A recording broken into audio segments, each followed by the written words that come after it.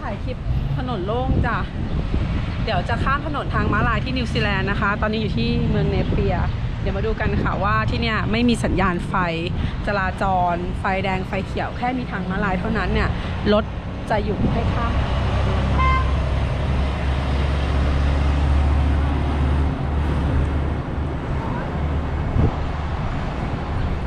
มีรถอะ ไม่มี รถอะเดี๋ยวรอก่อน ไม่มีรถรถมาแล้วปะ